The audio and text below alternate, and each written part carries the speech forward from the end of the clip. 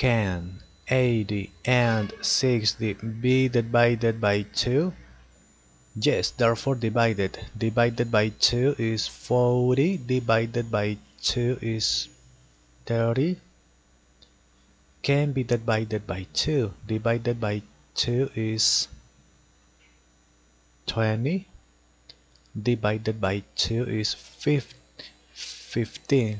15 cannot be divided by 2 because 15 cannot be divided by 2 cannot be divided by 3 because 20 cannot be divided by 3 can be divided by 5 okay therefore divided.